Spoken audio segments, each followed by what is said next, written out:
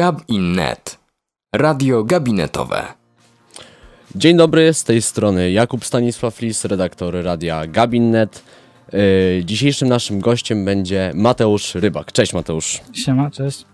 Yy, Mateusz przyszedł tutaj do nas w związku z konferencją Równi mimo różnorodności, wybrane problemy mniejszości w Polsce i na świecie. Yy, Zanim zaczniemy sobie rozmawiać na temat tej konferencji, może Mateusz powiesz, jaką rolę pełnisz, jeżeli chodzi o tą konferencję? E, Jeżeli chodzi o tą konferencję, to e, jestem koordynatorem tej konferencji, a to w związku z tym, że w Elsa Lublin, czyli w Europejskim Stowarzyszeniu Studentów Prawa, w naszej grupie lokalnej jestem wiceprezesem do spraw seminariów i konferencji. A, w takim razie gościmy dzisiaj wiceprezesa. Bardzo mi miło. Słowem wstępu, tak jeszcze prawo, prawo, prawo. Jest to, myślę, dziedzina dosyć odległa w dzisiejszych czasach od y, młodych ludzi, studentów, w, któ- w których zapewne głównie trafiacie z tą konferencją. I y, tak subiektywnym moim okiem y, muszę przyznać, że fajnie, że takie inicjatywy y, tutaj u nas w Lublinie mają miejsce i w jakiś sposób uświadamiamy y, społeczność młodych ludzi, społeczność akademicką jednak do zapoznania się z prawem. Y, Wasza konferencja głównie skupia się na problemach y, różn- różnorakich mniejszości, y, z tego co tutaj widzę. Dokładnie. Pierwszy panel będzie, będzie zatytułowany Wybrane problemy mniejszości narodowych, wyznaniowych i etnicznych w Polsce i na świecie. Zgadza się. No jak dobrze wiemy, teraz mamy dużą styczność teraz, jeżeli chodzi o mniejszości narodowe, jeśli chodzi o u, u, narodowość y, Ukraińców, którzy teraz przymierzają do naszych ziem. Czy, czy właśnie będzie też y, w waszej konferencji słowo na, na ten temat? E, Tak, będzie nawet, e, to mogę jeszcze przedpremierowo przed agendą powiedzieć, że będzie całe wystąpienie dotyczące e, właśnie tej mniejszości ukraińskiej, która do nas masowo tutaj przybywa i będzie też porównanie z tym, co dzieje się 100 km wyżej, czyli na granicy z Białorusią. Będziemy porównywać te, te dwa momenty i, i te różnice, które występują mimo wszystko w tym traktowaniu tych, e, tych dwóch mniejszości. E, Ale też na pewno będzie poruszony temat na przykład prawa do tożsamości językowej, które, e, który jest istotny dla tych ludzi, którzy tutaj przyjeżdżają mimo wszystko. Nie ukrywam, jestem laikiem akurat, jeżeli chodzi e, o ten temat. E, Jak definiujemy tą tożsamość językową?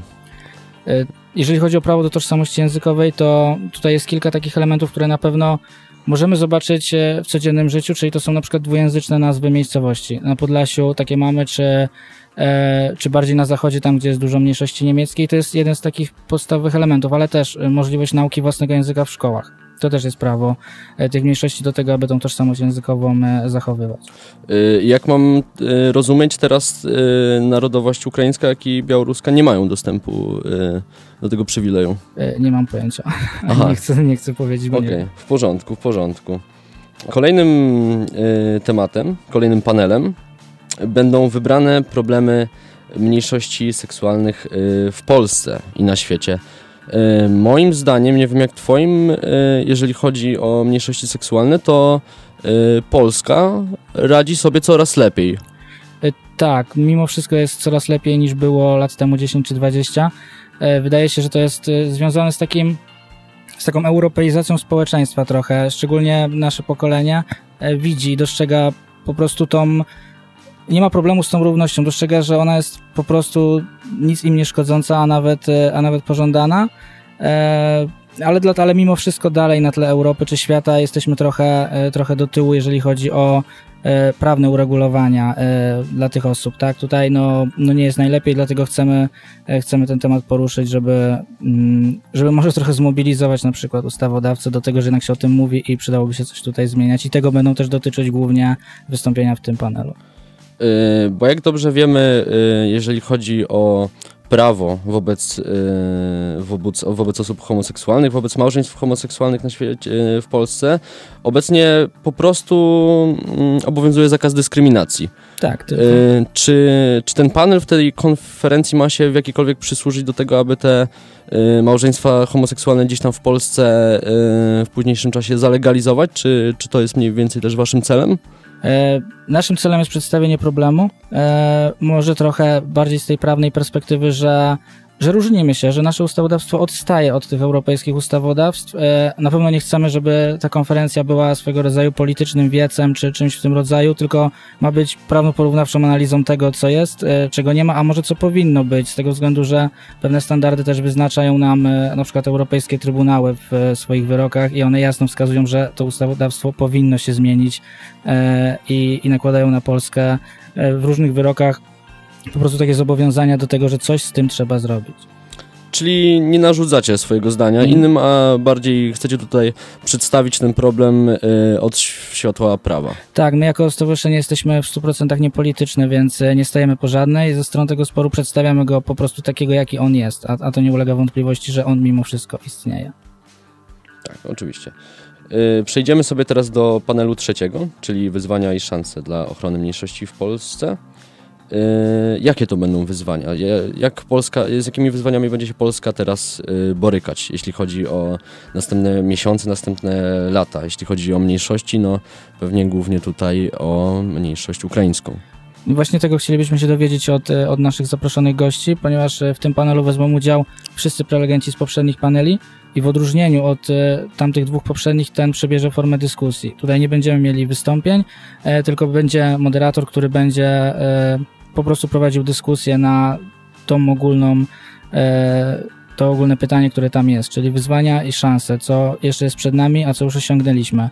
E, liczymy na to, że to będzie bardzo owocna dyskusja i, e, i jakieś wnioski też z niej zostaną wyciągnięte.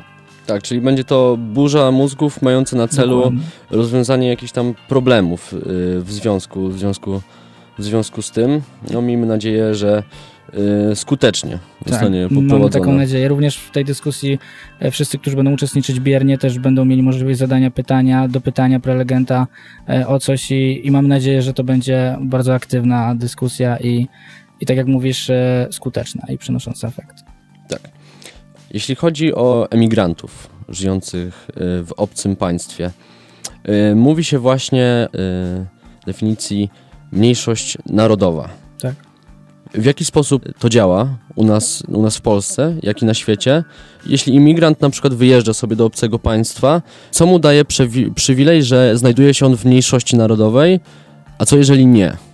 E, no właśnie na przykład to wspomniane już wcześniej przeze mnie prawo do tożsamości językowej, czyli grupy uznane za mniejszości narodowe mogą e, z takiego prawa korzystać. E, ale też na przykład mniejszość niemiecka w Polsce, która jest uznana za mniejszość narodową, ma swojego reprezentanta w Sejmie.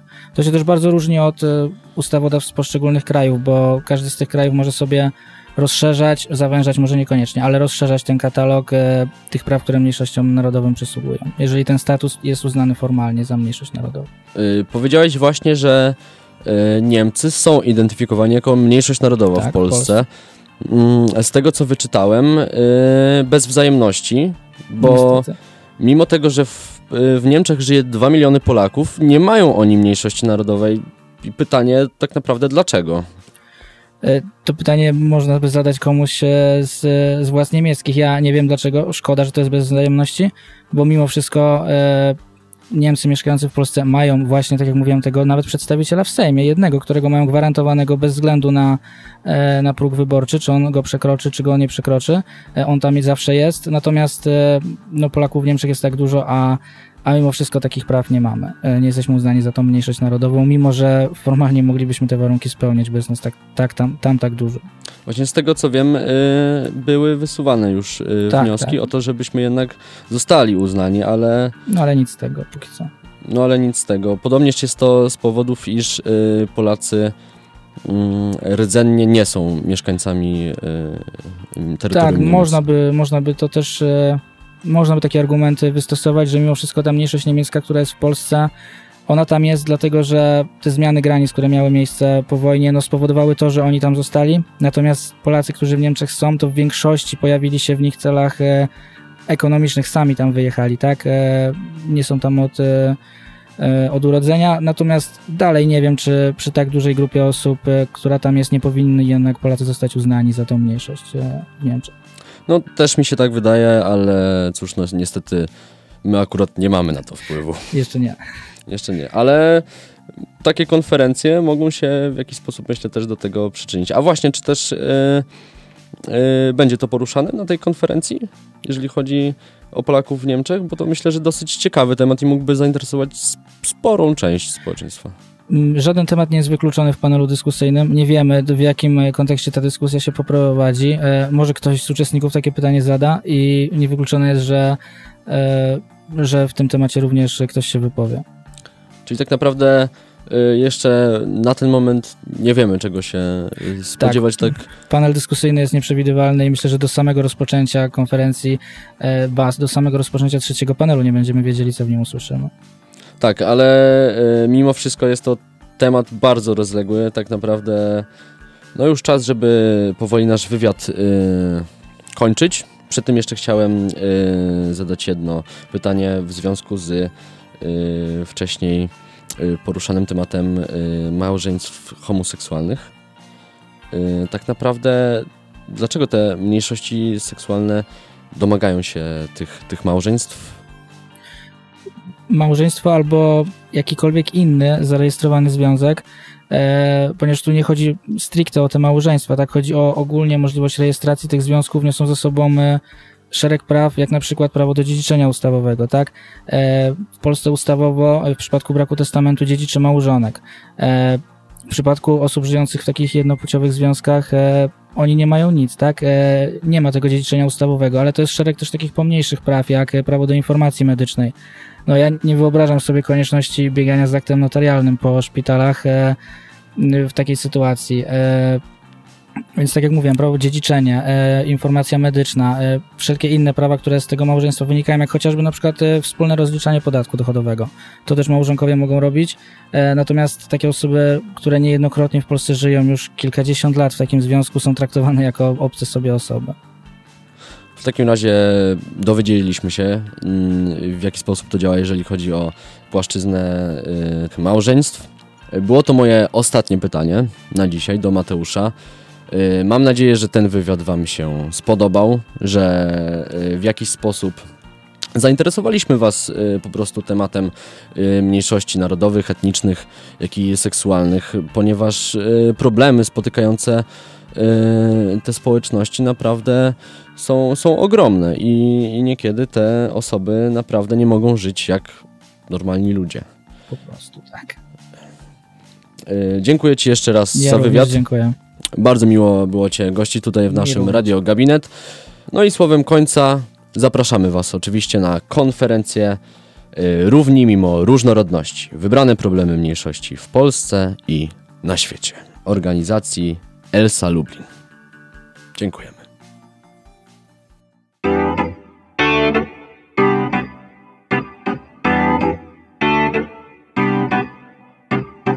Radio gabinetowe, gabinet. Radio gabinetowe, gabinet.